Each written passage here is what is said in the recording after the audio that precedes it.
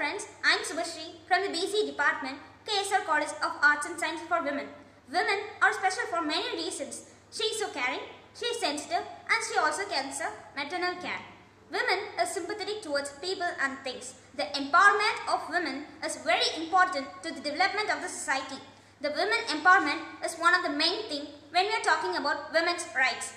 Here are some personalities who have become the first in their fields.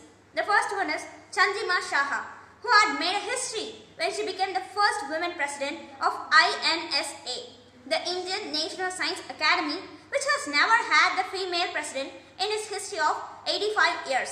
The next is Anjali Singh, who had made India really proud when she became the first ever women defense attaché.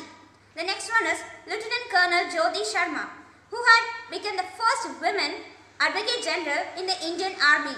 The last but not least, Lieutenant Shivangi, who had started her career on the 2nd September 2019 as the first woman pilot in the Indian Navy.